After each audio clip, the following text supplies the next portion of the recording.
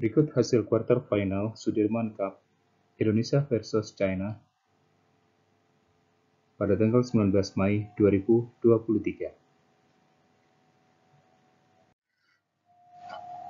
Di partai pertama, ganda Cina Zheng Ziwei Huang Yaqiong berhasil mengalahkan ganda campuran Indonesia Renov Vivaldi Gloria Emmanuel Wijaya dengan 13-21, 23-21, dan 21-11.